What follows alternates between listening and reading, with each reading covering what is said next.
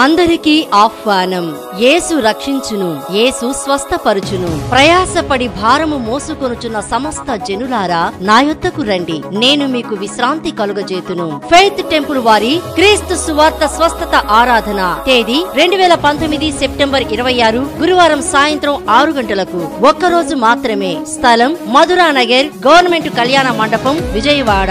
వాక్యోపదేశకులు దైవజనులు P. Moses గారు. జీవ వృక్షం టీవీ సేవకులు వీరు ఆత్మ వరములు ఆత్మాభిషేకం కలిగిన దైవజనులు. ఫెయిత్ టెంపుల్ నున్నా సహోదరి సున్నతి గారు. స్వస్థత వరము కలిగిన వారు నున్నా బ్రదర్ రజనీకాంత్ రెడ్డి పూనూరు. ప్రతి వ్యాధి రోగ కుటుంబ సమస్యలతో సతమతమవుతున్నారా? మీ ప్రతి సమస్య కొరకు స్వస్థత ఆరాధనలో పాల్గొని స్వస్థత పొంది దైవాశీర్వాదములు పొందగలరు. ప్రేమతో ఆహ్వానించేవారు faith temple సంఘస్థులు. Cell nine eight double six seven two seven nine seven one. ఒక చిన్న ఉపమానం మీతో చెప్పాలనుకుంటున్నాను. ఒక మంగళండ యేసు ప్రభుని గురించి చాలా చులకనగా మాట్లాడుతూ ఉండేవాడు ఎందుకంటే ఆయన షాపుకి వచ్చినప్పుడల్లా యేసు ప్రభు గురించి ఎక్కువగా మాట్లాడుతూ ఉండేవాడంట చులకనగా. ఆ మంగళకి ఒకరోజు సడన్గా కడుపులో నొప్పి వచ్చింది. ఏమనుకో మన కులం పెట్టానని ఇక్కడ ఎవరు అనుకోవద్దు. ఆ మంగళకి కడుపులో నొప్పి వచ్చినప్పుడు ఆ రాత్రి హాస్పిటల్కి వెళ్ళినాక ఆపరేషన్ చేయాలి. ఇది ఒకవేళ క్యాన్సర్ గడ్డగా కూడా కనపడుతుంది. మరి ఇది ఆపరేషనే చేయాలనేప్పటికీ మంగళకి ఎంతో భయం వేసిందంట యేసు ప్రభా నీవు అనేకులను రక్షించడానికి లోకానికి వచ్చావని మరి విన్నారు. మరి నాకు ఆపరేషన్ లేకుండా తగ్గిపోతే నీ సాక్ష్యం చెప్పుకుని నేను బతుకుతానయా అని చెప్పి దేవుని దగ్గర మొక్కుబడి చేస్తాడంట. చేయగానే దేవుడు విన్నాడు. ఆపరేషన్ అవ్వకుండా అతనికి తగ్గిపోయింది. ఇక ఆ తర్వాత షాపుకి వచ్చే వాళ్ళందరికీ కూడా సాక్ష్యం చెబుతూ ఉన్నాడు. మరి ఒకరోజు ఒక అతను వచ్చాడంట. ఆ షాపులో కూర్చోబెట్టి ఈయన సాక్ష్యం ఇవాళ ఎవరు నేను చెప్పలేకపోయాను. అనుకుంటూ ఆలోచించుకుంటూ ఉండగానే ఒక అతను వచ్చాడు. వచ్చి మరి షేవింగ్ చేసుకోవటానికి కూర్చున్నాడు. అలాగే సబ్బు రాశాడు టవల్ వేశాడు సంతోషంగా చాలా యాక్టివ్గా ఉన్నాడు. ఇక కత్తి తీసుకుని నూరుతూ అంటున్నాడు ఇదిగో నీ దేవుడిని ఇక నీవు స్మరించుకో అని చెప్పి మాట్లాడుతూ దాన్ని నూరుతూ ఉన్నాడంట. కత్తి అటు ఇటు సవర్ చేస్తుంటారు కదా చేస్తూ ఉండగానే ఆ పక్కన ఉన్న వ్యక్తి నా పీకకు చంపేస్తాడేమోనని చెప్పి కుర్చీ దిగి పారిపోయాడంట. ఏం చేశాడు చెప్పండి? కుర్చీ దిగి అదే పనిగా పారిపోయాడంట. ఎందుకు పారిపోయాడండి చూడండి రెండో తిమోతి రెండో తిమోతి రెండవ అధ్యాయము పద్నాలుగు వచ్చినాను చూడండి. వినువారికి చెరుపుటకే గాని చెరుపుటకే కానీ మరి దేనికిని పనికిరాని మాటలను గూర్చి దేనికి పనికిరాని మాటలను గూర్చి మాటలను గురించి వాదము పెట్టుకుని వద్దని వాదము పెట్టుకునవద్దని ప్రభు ఎదుట ప్రభు ఎదుట వారికి సాక్ష్యం ఇచ్చుచు వానికి సాక్ష్యమిచ్చుట ఈ సంగతులను ఈ సంగతులను వారికి జ్ఞాపకము చేయము. అక్కడ ఏమన్నారు చెప్పండి. నీ మాటలు వినువారిని చెరుపుటకు మరి మరి దేనికి పనికిరాని మాటలను గూర్చి మాటలను గురించి వాదము పెట్టుకొని వద్దని వాదము పెట్టుకునవద్దని ప్రభు ఎదుట వారికి ఇచ్చుచు. వారికి మనవి సాక్ష్యం ఇచ్చుచు సాక్ష్యమిచ్చు ఈ సంగతులను వారికి జ్ఞాపకము చేయము. సంగతులను వారికి జ్ఞాపకము చేయము. జ్ఞాపకము చేయి. నీ సంగతులు ఎలా తెలియచేయాలి చెప్పండి. ఇనువారిని చెరిపే విధంగా ఉండకూడదు నీ సాక్ష్యం. నీ సాక్ష్యం ఎలా ఉండాలి చెప్పండి. ఆ కుర్చీ దిగి పారిపోయాడు ఆయన. అంతేనా ఆ మంగళకి అర్థం కాల. కత్తి నూరుకుంటూ ఇదిగో నీ దేవుడిని ఇక స్మరించుకుని ఆయన వెళ్తాడు ఇక సాక్ష్యంలోని వెళదామని అనుకుంటున్నాడు. ఇవాళ ఎవరు దొరకలే నాకు? ఈయన బాగా దొరికాడు నాకు సాక్ష్యం చెప్పుకోవటానికి చెప్పుకున్నంత టైము ఆయనకి నేను చేద్దామని అనుకున్నాడు. కానీ ఆ సాక్ష్యం ఎలా ఉందో చెప్పండి? అతని విశ్వాసాన్ని చెడగొట్టే విధంగా ఉంది. కనుక వినువారిని చెరుపుటకు మీ సాక్ష్యం అలా ఉండకూడదు. ఎలా ఉండాలి చెప్పండి? ఇనువారు రక్షించబడే విధంగా ఉండాలి. మీ సాక్ష్యం. దేవుడు మీ ఎడల చేసిన ప్రతి కార్యాన్ని చెప్పే విధంగా మీరు చెప్పినప్పుడు ఎదట వ్యక్తి ఏం చెబుతారు చెప్పండి? రక్షించబడతారు. ఆయన రక్షణ పొందాడు. మంగళి రక్షణ పొందాడు. ఇక దేవుని గురించే సాక్షిగా జీవిస్తానయ్యా అన్నాడు. పోనీ సాక్ష్యం చెప్పుకుంటున్నాడు. బాగానే ఉంది. కానీ ఏం చెప్తున్నాడు చెప్పండి? ఆ సాక్ష్యము వినేవారికి భయం కలిగే విధంగా ఉంటుంది. కనుక వినిన వారు ఏం చేస్తున్నారు చెప్పండి? పారిపోయే పరిస్థితి కూడా కలుగుతుంది. దేవునికి స్తోత్రము. అలా. కనుక దేవుడు మనకు ఇచ్చిన సాక్ష్యాలు ఈరోజు మనల్ని కాపాడి ఉన్నాడు అంటే మనల్ని రక్షించి ఉన్నాడు అంటే మనం ఏం చేయాలి చెప్పండి? ఆయన సాక్షి జీవితంగా ఉండాలి. మనం దేవుని సన్నిధిలో సాక్ష్యం చెబుతున్నాము అంటే దేవునికి సంతోషకరంగా ఉండాలి. అలాగే వినివారు మాత్రము విశ్వాసములో బలపడేవారిగా ఉండాలి. ఏం చెబుతారా అని వినే విధముగా ఉండాలి. రోమా పత్రిక చూడండి ఎనిమిదవ అధ్యాయము ఇరవై ఎనిమిదవ వస్తున్నాను తీసుకుందాం. దేవుని ప్రేమించు వారికి దేవుడు ప్రేమించు వారికి దేవుని ప్రేమించు వారికి అనగా అనగా ఆయన సంకల్పము చొప్పున ఆయన సంకల్పము చొప్పున పిలువబడిన వారికి పిలువబడిన వారికి మేలు కలుగుటకై మేలు కలుగుటకై సమస్తమును సమకూడి జరుగుచున్నవని సమకూడి జరుగుచున్నవని జరుగుతున్నవని ఎరుగుదుము. ఎరుగుదము. దేవుని ప్రేమించు వారికి అనగా ఆయన సంకల్పము చొప్పున పిలువబడిన వారికి మేలు కలుగుటకై సమస్తము సమకూడి జరుగుచున్నవని జరుగుతున్నవని గ్రహించండి. దేవుని సంకల్పములో మీకు సంతోషమైన శ్రమ అయినా నిందలే అయినా ఒకవేళ అవమానాలే అయినా ఒకవేళ మీకు మరణకరమైన వ్యాధులే వచ్చినా దేవుడు సమస్తము ఆయన ప్రేమించిన బిడ్డలు ఒకవేళ శ్రమను ఆయన ఏం చేస్తాడు చెప్పండి? ఆశీర్వాదంగా కూడా మార్చేయగలడు. కనుక దేవుని సంకల్పము చొప్పున పిలువబడిన ప్రతి ఒక్కరికి శ్రమ కలిగితే దేవుడు ఏం చేస్తారు చెప్పండి? వారిని ఆదుకుంటాడంట. వారి ప్రార్థన వింటాడు ఆ శ్రమలో. ఈ శ్రమలకు కారణము ఏమిటో తెలియజేస్తాడు. అలాగే కొన్ని మేలు కొరకు వస్తాయి. కొన్ని మన ప్రవర్తనను బట్టి శ్రమలు వస్తూ ఉంటాయి. కానీ అన్నిటిలో కూడా మనం ఏంటంటే మన విశ్వాసాన్ని కోల్పోయేవారిగా ఉండకూడదు. ఎలా ఉండాలి చెప్పండి? సమస్తము దేవునికి తెలియకుండా ఏ శ్రమ మనకు రానే రాదు. దేవుడు సమస్తము మన పక్షాన ఎరిగినవాడు. మన కూర్చునుటయు లెగుసుటయు మనకు తలంపు పుట్టక మునిపే మనలోని చర్యలన్నిటినీ కూడా ఎరిగి ఉన్నాడు దేవుడు. కనుక దేవుని సన్నిధిలో ఈరోజు మీరు ఆయన ప్రణాళికలో మీరు ఎక్కడెక్కడున్నా ఈరోజు ఈ ఈ కూడికలో ఉన్నాము అంటే దేవుని ప్రణాళికలో ఇది ఈ ఏర్పాటు అయ్యి ఉన్నది. కనుక సమస్తము ఆయన ఆలోచించినవన్నీ కూడా నెరవేరుతూ ఉంటాయి.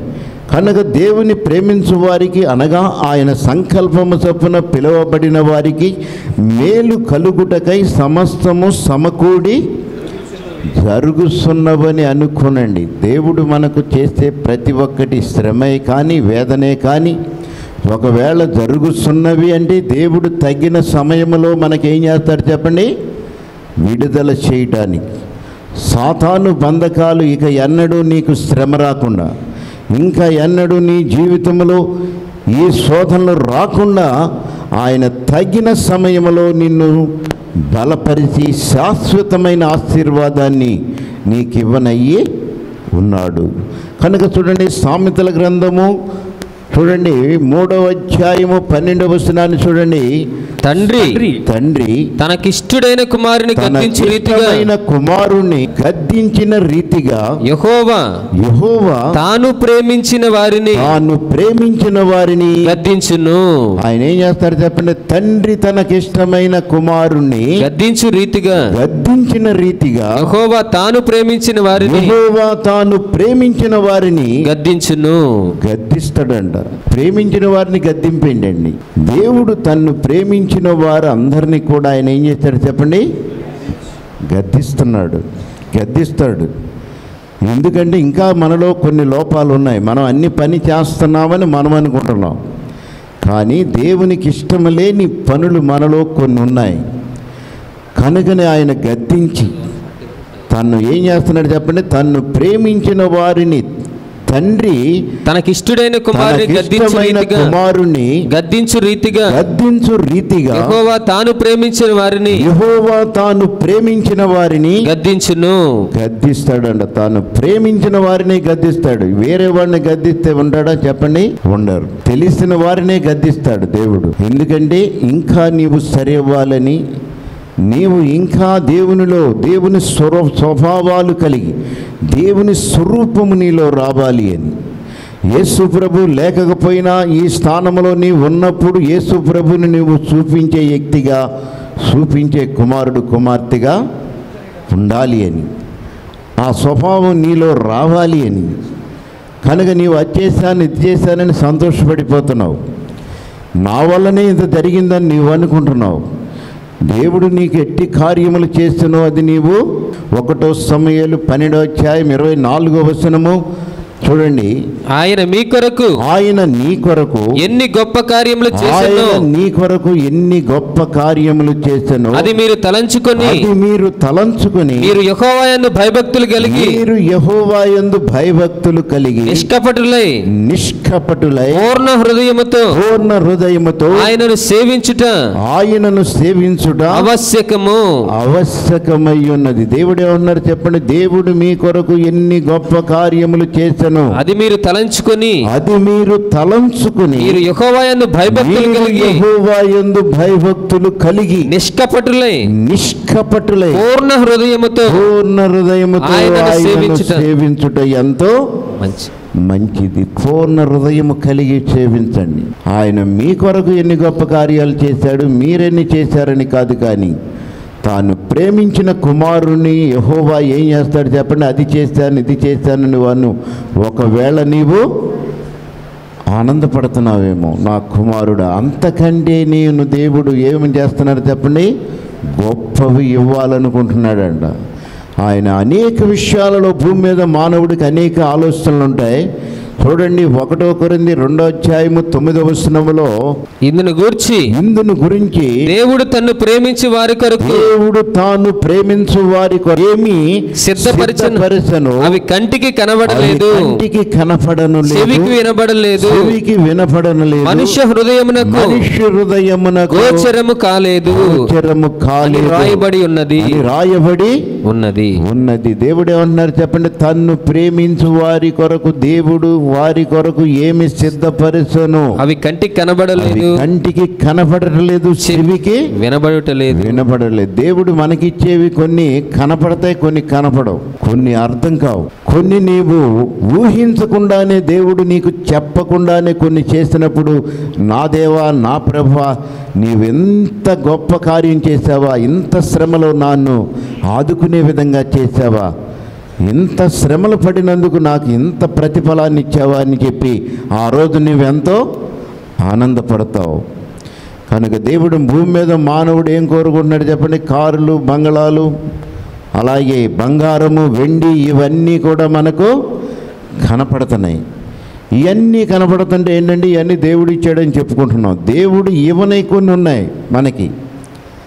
దేవుడు మనకి ఇవ్వనై కొన్ని ఉన్నాయి. ఆ వాగ్దానాలు. వాటి విషయంలో ఆలోచన కలిగి ఉన్నారా మీరు ఎప్పుడైనా నాకేమిచ్చాడండి దేవుడు అంటాం మనం. దేవుడు నీకు ఇవ్వాల్సినది ఆయన నీవు చేసే ప్రార్థన విని తగిన సమయంలో నీకు సహాయము చేయటానికి అలాగే ఒక్కొక్కళ్ళ జీవితాలలో అనేక ఆశ్చర్య కార్యాలు దేవుడు చేస్తూ ఉన్నాడు. మన జీవితం అంతా చెప్పుకోవాలని మన జీవితమంతా కూడా దేవుడు తన్ను ప్రేమించు వారి కొరకు ఏమి సిద్ధపరిచను అవి కంటికి కనబడలేదు. కనపడలేదు చెవికి వినబడలేదు. వినపడలేదు. మనిషి- మనిషి హృదయమునకు గోచరము కాలేదు. గోచరము కాలేదు. కనుక దేవుని యొక్క సంకల్పము ఎరిగిన వారు దేవుని చిత్తమును ఎరిగిన వారు వారు మాత్రమే ఆ విషయాలు గ్రహించగలుగుతారు. ఏసేపు ఫలించటి కొమ్మ అని అన్నారు. ఎలా ఫలించాడు చెప్పండి? ఏసేపు చిన్నతనము నుంచే చెడుతనమును విసర్జించిన వాడు తన అన్నదమ్ముల్లో తండ్రి దగ్గర నమ్మకంగా ఉండి తండ్రి ఎంతగానో వృద్ధాప్యంలో ఉన్నాడు. కుమారులు అందరూ కూడా యవనస్తులు. మరి అనేక విషయాలలో వారు అనేక పనులు చేసి ఆ మందలను మేపి ఆ కుటుంబాలను పోషించేవారు. యాకోబు కుమారులు. వాళ్ళు ఎందుకంటే దేవుని వాగ్దాన పుత్రులుగా పుట్టారే కానీ ఒక యాజకుడు దేవుని వాగ్దాన కుటుంబంగా పుట్టారే కానీ వారు లోక సంబంధులుగా ఉన్నారు. కనుక చిన్న పిల్లవాడైన ఏసేపులో వాళ్ళు చేసే ప్రతి పని కూడా బాధగా ఉందాయని. ఆ విషయాలన్నీ చూచి విని తండ్రి దగ్గర తీసుకుని వచ్చి ఆ విషయాలు తెలియపరుస్తున్నప్పుడు తండ్రి బాధపడి అన్నదమ్ములు అందరినీ కూడా గద్దించేవాడు. గద్దించినప్పుడు ఈ విషయాలు ఎవరు చెప్పారా ఎవరు చెప్పారా అంటే ఏసేపు ఏసేపు ఇలాంటి పిత్రీలు చెప్తున్నాడు మన మీద ఈయన ఏదో ఒకటి చెయ్యాలి అని చెప్పి వారు ఏం చేశారు చెప్పండి తగిన సమయాన్ని కనిపెడుతూ ఉన్నారు. ఏసేపుతో దేవుడు మాట్లాడుతున్నాడు. చిన్న వయసులోనే యథార్థపరుడుగా ఉన్నాడు. చెడుతనాన్ని అసహించుకునే వ్యక్తిగా ఉన్నాడు. చెడ్డవాటికి స్థానం లేదు అతని దగ్గర. అతను దేవుని సంకల్పము ఎరిగినవాడు తండ్రి మాటలు వినినవాడు. అన్ని విషయాలలో దేవుని ప్రణాళిక ఏమిటో కూడా చిన్న వయసులోనే ఆ మాటలన్నీ కూడా హృదయంలో భద్రపరుచుకుని ఉన్నాడు ఏసేపు కనుకని ఏసేపు దేవునిలో ఎంతగానో అక్కడ ఎలా ఉన్నాడు చెప్పండి? ఆశీర్వాదాలకు అర్హుడుగాను విశ్వాసములో బలవంతుడుగా ఉన్నాడు. చిన్నవాడిగా ఉన్నాడే కానీ విశ్వాసములో ఎంతో బలవంతుడిగా ఉన్నాడు. చిన్న వయసులోనే అంత బలవంతుడిగా ఉన్నాడు. కనుకనే ఏసేపును దేవుడు ప్రేమించాడు. తన కొరకు ఏమి సిద్ధపరిచి ఉన్నాడో అన్నీ ఏసేపుతో చెప్పేశాడు. ఏసేపు నేను నిన్ను గొప్పవాడిగా చేస్తాను. నీ అన్నదమ్ములు అందరూ కూడా నీకు సాగిల పడతారు. నీ తల్లిదండ్రులు అందరూ కూడా నీ దగ్గరికి వస్తారు. నువ్వు అందరికీ కూడా అధికారి అవుతావు. సూర్య చంద్రులన్నీ కూడా నీకు సాగిల పడే విధముగా నేను నిన్ను హెచ్చించనయ్యి ఉన్నాను. నీవు చేసిన తీర్మానం నీవు నా మాట విని నాకు భయపడి నీ హృదయంలో నా మాటలు భద్రం చేసుకుని ఉన్నావు కనుక నేను నిన్ను హెచ్చుగా హెచ్చించనయ్యి ఉన్నాను. ఆ సంతోషాన్ని ఏం చేస్తున్నాడు చెప్పండి? అన్నతో చెప్తున్నాడు తండ్రితో చెప్తున్నాడు ఆ వచ్చినవన్నీ చెబుతా ఉండే వీళ్ళు ఏం చేస్తున్నారు చెప్పండి? ఈ లోకములో దేవుని ప్రణాళిక ఏమిటో తెలియని వారికి వీళ్ళందరికీ కూడా వీర్చగా తయారైపోతుంది. ఏంట్రా చిన్నోడు మన మీద అనేక తప్పులు ఇప్పటి వరకు తీసుకొచ్చి తండ్రితో తిట్టిస్తున్నాడు. ఇంకా మనలను మన మీద పెద్దవాడు అవుతాడంటే ఈడు వాడికి మనము దండాలు దశకాలు పెట్టాలంటే ఇది ఎక్కడదని చెప్పి ఏం చేస్తున్నారు చెప్పండి? తగిన సమయము చూచి ఏసేపును హతమార్చాలని చూస్తున్నారు. దేవునికి స్తోత్రము. హరిడే కనుక దేవుని మహిమ పరచాలని ప్రణాళికలో ఏసేపు ఉన్నాడు. కానీ అన్నదమ్ములు ఏం చేస్తున్నారు చెప్పండి? అతన్ని హతమార్చాలని చూస్తున్నారు. కానీ దేవుడు ఏం చేస్తున్నాడు చెప్పండి?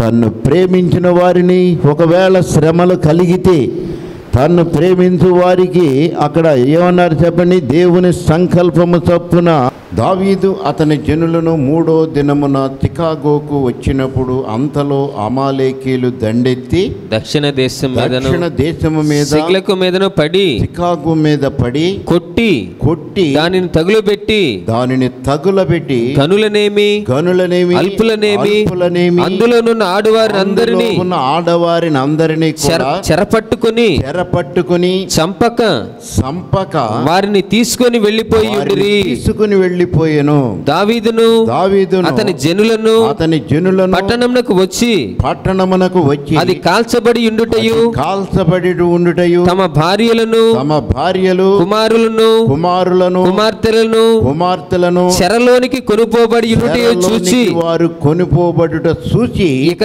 ఏడ్చులకు శక్తి లేకపోవునంత శక్తి లేనంత బెగ్గరగా ఏడ్చిరి. ఏడ్చిరంట. వారు ఏం చేశారు చెప్పండి? దావీదు ఎవరు చెప్పండి? దేవుని చేత అభిషేకం పొందినవాడు. దేవుని యొక్క హృదయానుసారమైన వాడు. నా హృదయంలో ఉన్న ఆలోచనలన్నీ కూడా దావీదే నెరవేర్చేవాడు. ఒక గొర్రెల కాపరి. దేవుని చిత్తాన్ని ప్రణాళికను నెరవేర్చలేని సవులు యొక్క రాజ్య అధికారాన్ని దావీదికి దేవుడు అప్పగిచ్చాడు. సవులు దేవుని ప్రణాళిక నెరవేర్చాలి అని కోరుకున్నాడు కానీ దేవుని చిత్తాన్ని నెరవేర్చలేకపోయాడు. కనుక అతని మధ్యలో ఆగిపోయాడు కనుక గొర్రెల కాపరిగా ఉన్నవాడు యథార్థపరుడు దేవుని చిత్తము ఎరిగినవాడు చిన్నవాడైనా దేవుని యొక్క ప్రణాళిక కలిగినవాడు. కనుక దావీదు ఏం చేశాడు చెప్పండి? దావీదును దేవుడు కావాలని ఇస్రాయేలీలకు రాజుగా అభిషేకం చేశాడు. నా హృదయ ఆలోచనల నెరవేర్చేవాడు నాకు నా కుమారుడు అని దావీదుని పేరు పెట్టి పిలిచి అతనికి ఏం చేశాడు చెప్పండి? అభిషేకించి ఇస్రాయిల్ మీద రాజుగా పట్టాభిషేకం చేశాడు. చేసిన తర్వాత దావీదు జీవితంలో అన్నీ శ్రమలే. ఇటు సవులు తమురుతున్నాడు ఇటు అమాలేకీలు తమురుతూ ఉన్నారు. దేవుని చేత అభిషేకించబడి ఉన్నాడు. దేవుడు అతని గొర్రెల కాపరిగా ఉన్నాడు. కావాలని కూడా ఈ యొక్క రాజుగా కావాలని అతను ఎప్పుడు కూడా ఆలోచించలేదు. కానీ దేవుని యొక్క ప్రణాళిక నా మీద ఉన్నది దేవుడు నాకు తోడుగా ఉన్నాడు. కనుక తగిన సమయంలో నాకు సహాయము చేస్తాడు. కనుక నా ప్రాణమా? చూడండి కీర్తన గ్రంథం నలభై రెండు పదకొండు వచనములో నా ప్రాణమా? ఏమంటున్నారు చెప్పండి దావీదు.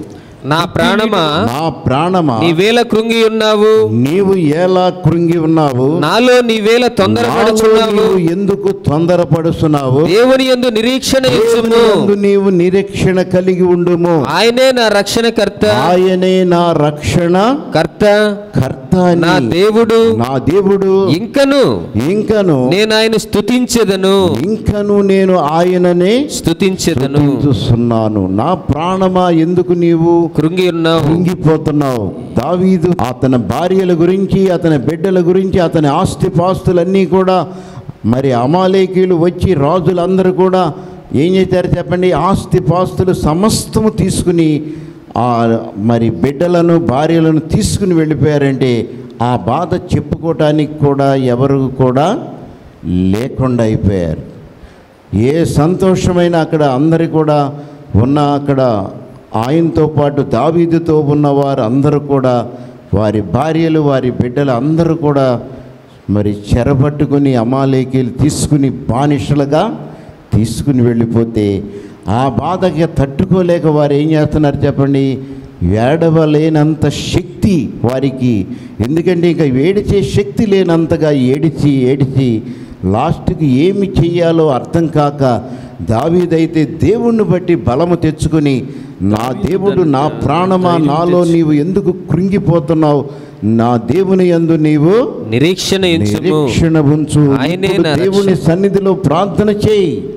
సమస్తం ఆయన చేయగలడు. నీకు సహాయము చేసే దేవుడు ఆయన కొనగడు నిద్రపోడు. కనుక నా ప్రాణమా ఎందుకు ఇలా కుంగిపోతున్నావని దేవుణ్ణి బట్టి ఏం చేశాడు చెప్పండి? దావీదు బలమును. ధైర్యము తెచ్చుకున్నాడంట. నా దేవుడు తప్పకుండా నాకు సహాయం చేస్తాడని అక్కడ ఏ పోదు తెప్పించి అక్కడ యాజకులను పిలిపించి అక్కడ దేవుని దగ్గర ఏం చేశారు చెప్పండి? విచారణ విచారణ చేయగాని దేవుడు అంటున్నాడు తప్పకుండా నీ వెళ్ళి వారిని పట్టుకుంటావు నీ వారందరినీ నీ దక్కించుకో. వారందరినీ కూడా నీవు దక్కించుకుంటా. దక్కించుకుంటావు నీవు వెళ్ళు అన్నాడు.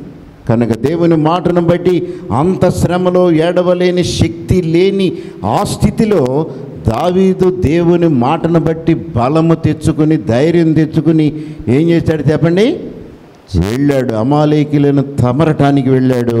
వెళ్ళిన తర్వాత చూడండి పదిహేడు వచ్చిన అక్కడ దావీదు. దావీదు దావీదు. సంగతిని గ్రహించి ఆ, సంధ్యవేళ మొదలుకొని ఆ, మరునాటి సాయంత్రం వరకు మరునాటి సాయంత్రము వారిని వరకు హతము చేయుచుండగా వాటిని హతము చేయిస్తుండగా ఒంటెల మీద ఎక్కి పారిపోయిన నాలుగు వందల మంది. మీద ఎక్కి పారిపోయిన నాలుగు వందల మంది. యవనులు తప్ప యవనులు తప్ప తప్పించుకొనిన వాడు తప్పించుకుని వాడు ఒకడును లేకపోయెను. ఒక్కడును లేకపోయేను ఇలాగున దావీదు. ఇలాగున దావీదు. అమాలేకీలు దోచుకొని పోయిన దానంతటిని. అమాలేకీయులు దోసుకుని పోయిన దాని అంతటిని తిరిగి తెచ్చుకొనెను. తిరిగి తెచ్చుకునెను. మరియు అతడు ఆ మరి అతడు తన ఇద్దరు భార్యలను రక్షించెను. ఇద్దరు భార్యలను కూడా రక్షించెను. కుమారులనేమి? కుమారులనేమి? కుమార్తెలనేమి? కుమార్తెలనేమి? దోపుడు సొమ్మేమి? దోపుడు సొమ్మిది. వారు ఎత్తుకొని పోయిన దానంతటిలో ఎత్తుకుని పోయిన దాని అంతటిని కొద్దిదేమి?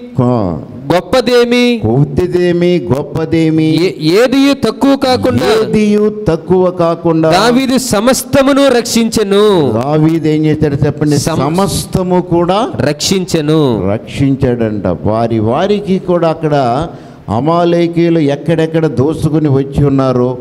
అంతా కూడా దావీదు దేవుడు ఏం చేశాడు చెప్పండి?